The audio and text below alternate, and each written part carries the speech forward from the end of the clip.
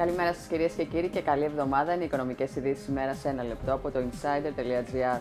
Μπορεί στο σημερινό Eurogroup ο Ευκλήτη Τσακαλώτο να βρεθεί εν μέσω επενετικών σχολείων για το γεγονός ότι έκλεισε εγκαίρω την τεχνική συμφωνία για την τρίτη αξιολόγηση με τους θεσμούς. Ωστόσο, από αύριο η κυβέρνηση θα έχει 50 ημέρες περιθώριο για να περάσει από την Βουλή δύσκολα προαπαιτούμενα και να υλοποιήσει όλα όσα συμφώνησε με τους δανειστές. Η διευκόλυνση των πληστηριασμών πρώτης κατοικίας, η αυστηροποίηση της υπαγωγής στο νόμο Κατσέλη, η αλλαγή του πλαισίου που διέπει τις απεργίες στα πρωτοβάθμια σωματεία, το μαχαίρι στα ειδικά επιδόματα τρίτεκνων και πολίτεκνων, αλλά και η πώληση του 40% του λιγνητικού δυναμικού της ΔΕΗ είναι κάποια από τα συμφωνημένα μέτρα που η κυβέρνηση θα πρέπει να περάσει από τη Βουλή πριν και μετά τα Χριστούγεννα.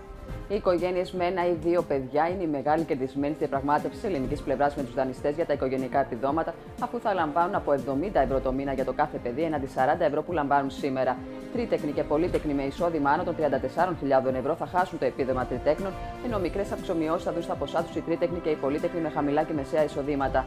Σύμφωνα με πληροφορίες, η πρώτη κλίμακα των εισοδηματικών κριτηρίων παραμένει σταθερή και κυμαίνεται έως 6.000 ευρώ απαλλάχθηκε από τις κατηγορίες για ψευδή δήλωση υπόθεν έσχη ο διοικητή της Τράπεζας Ελλάδος Γιάννης Τουρνάρας. Όπως μεταδίδουν οι Financial Times, η αρμόδια επιτροπή της Βουλής τον απάλλαξε από τις κατηγορίες για ψευδή υποβολή υπόθεν έσχη στο διάστημα 2012-2014, όταν και ήταν Υπουργός Οικονομικών.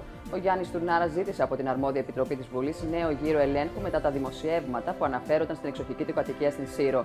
Σύμφωνα πάντα με τους Financial Times, ο Μάριο Ντράγκη παρενέβη δύο φορές σε διάστημα δύο εβδομάδων προκειμένου να τον υποστηρίξει, χαρακτηρίζοντάς τον ως αξιότυπο μέλος της Ευρωπαϊκής Κεντρικής Τράπεζας, το οποίο χαίρει της απόλυτης εμπιστοσύνης του.